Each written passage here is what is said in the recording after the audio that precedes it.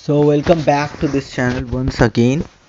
And in this video tutorial I'll be discussing file information data structure in RPG4 so here file information data structure is basically uh, telling the information of any specific file defined in our RPG4 program to the RPG4 program. And uh, this basically uh, uh, gives us information file, file feedback information and uh, uh, exceptions information to the program. So let me show you the the example which I created to show this. So here you can see I just defined one file clpf1 just if I do run query on this.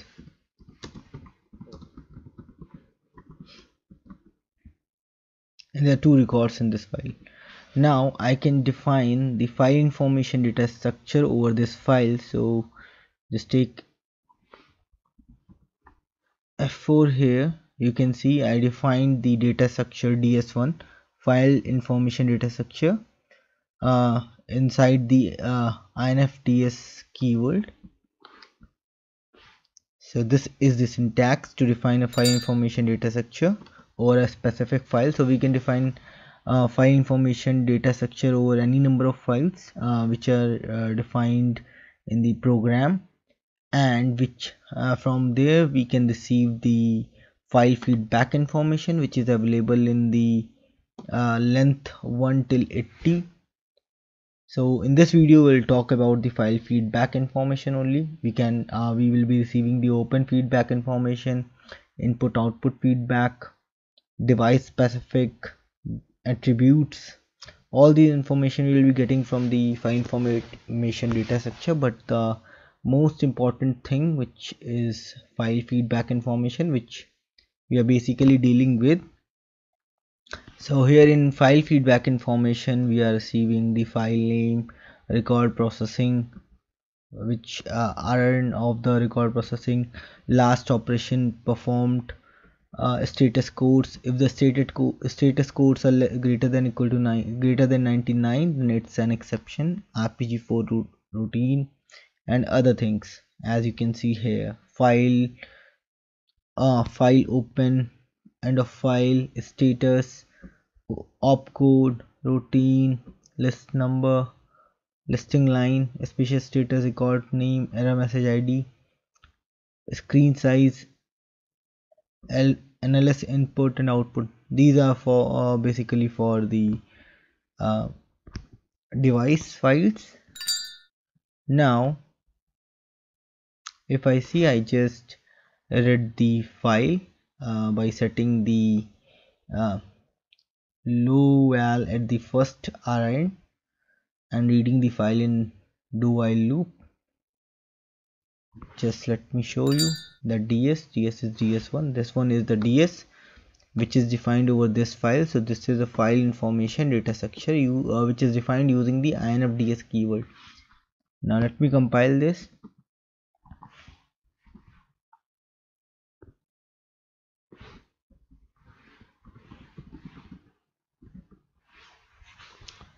this program is compiled. Rpgle 5 now i'm debugging this program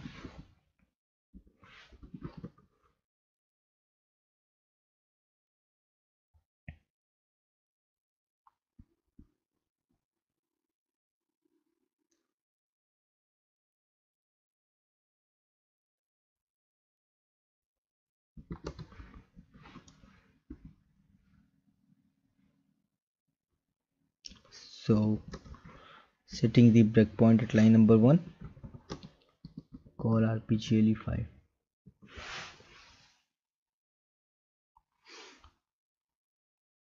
just do a page up.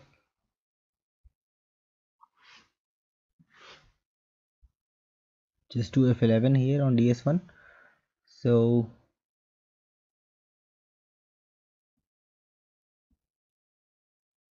I can see uh, file of ds1 is file name is clpf1 open indication of ds1 is 1 means file is open.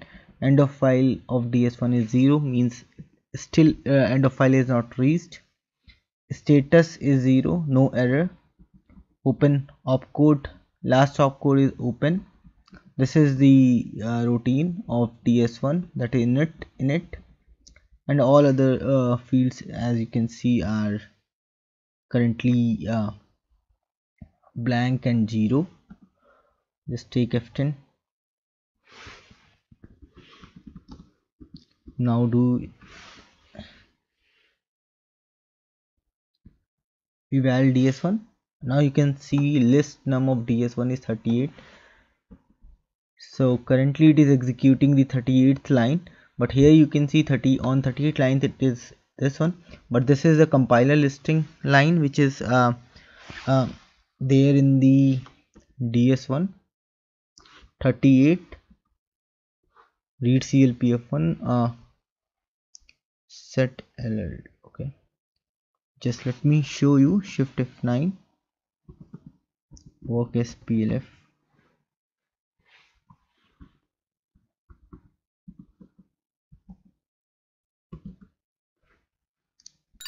page down page up. So you can see on 38 it was setll so currently you have executed the setll so we have the information of the settle now we are executing the read operation.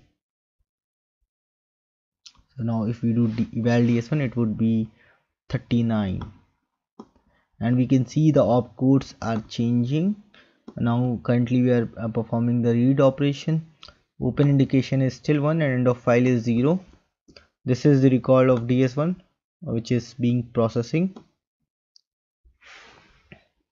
Rclpf1 just take f10 so the first record is read so if i do run query roll number is 1 so let me check. Roll number. We are not evaluating anything. We can't see those things. Let me check this by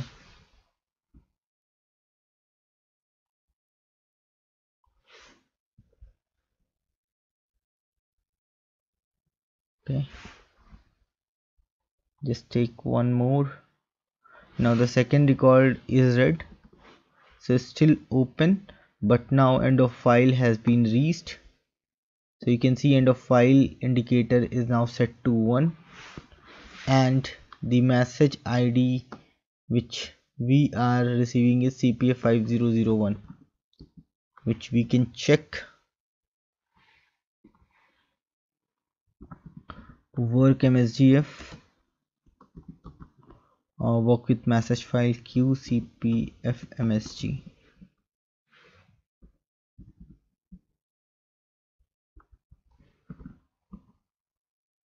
end of file and 2 detected in library 3 and 3 so end of file has been reached now and this is the end of program. Still NLR is not set to on so if I look at ds1 so the file is still open. Just take f10 now now if I check open indication of ds1 is 0 so file is now closed because INLR is set to on end of file is still 1 and opcode is close file and routine of ds1 is termination routine right now this is the end of program.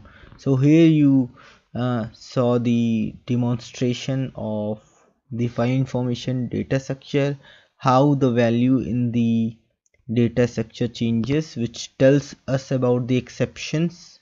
Any exceptions occur or uh, end of file read or any other thing or file feedback information which record is processing a file is open or not which opcode is currently uh, executing either read open close or other things.